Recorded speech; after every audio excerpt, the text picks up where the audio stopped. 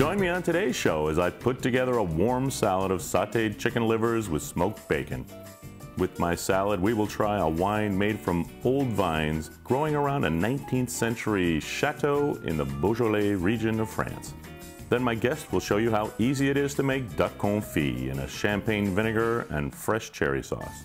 With the duck, I'll pair it with a Spanish wine from 40 year old vineyards of the Rioja Alta region.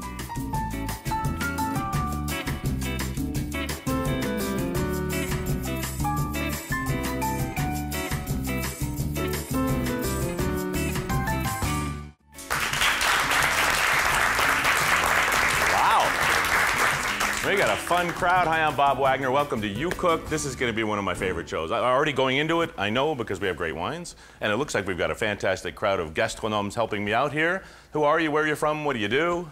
I'm Tom Stefansi. I live in Manhattan, New York. And A New Yorker.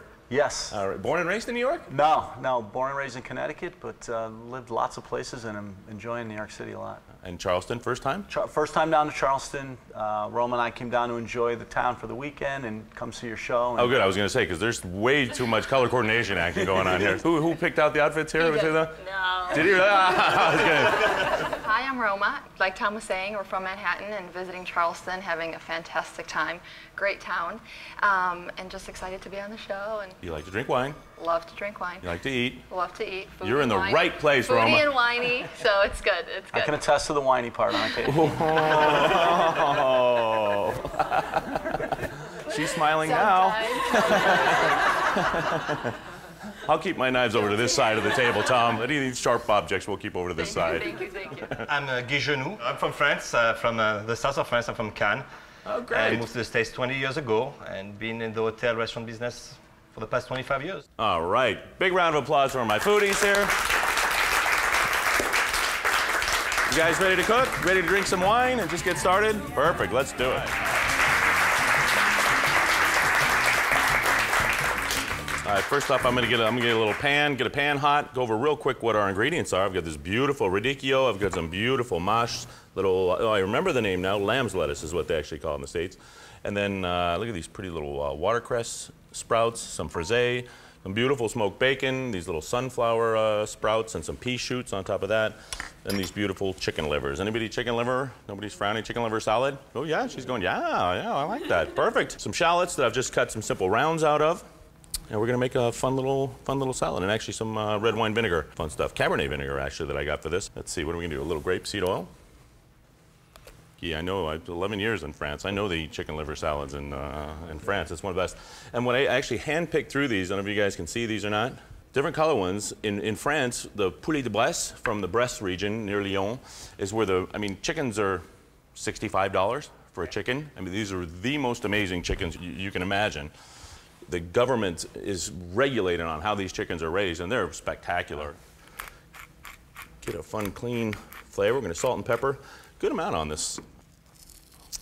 In a nice hot pan. We want to sear it, get a really nice sear on it. Flavors everything. When you can sear something, it's going to have a lot of wonderful flavor. We're going to get these in and spread them around. And let them just kind of do their thing. I got a mmm from Guy over there. That's a good one. And you don't see chicken liver salads very often anymore. I think it was something from, uh, I mean, as a kid, did you guys eat chicken liver? Tom? Yeah. Family? Not at all? Yep. Yep, you did. All right. At least you know if you don't like it, she can have your portion.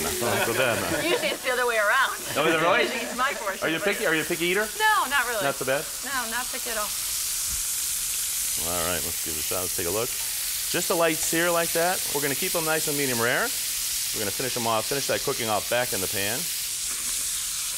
And I'm going to leave that fat in there. Because some it might lose a little, little blood, a little of the juice, and uh, that's all good flavor though. A little bit liver in there. We're going to get our shallots in there. Let that cook real quick. I'm not going to cook these guys down. I just want to get some of that, get rid of that harsh shallot flavor. Brown a little bit. Whoa, jumper on these guys. That. And then I'm gonna do a little bit of bacon. And I'm not even gonna crisp this. Some of the bacon, sometimes I like to have it where, uh, like a lardon in France, where it's not, they don't really do crispy, crispy bacon in France. Oh, no. It's usually, it's usually like this, isn't it? Just like that. mm. usually the, For flavor, just a little bit uh, seared, very lightly seared. Yeah, I got to say, the first Frenchman on the show. I like that. I like that. In Louisville, how long have you been in Louisville? I've uh, been in Louisville for four years now. Oh, okay. Love it. Great, great, uh, great city. All right.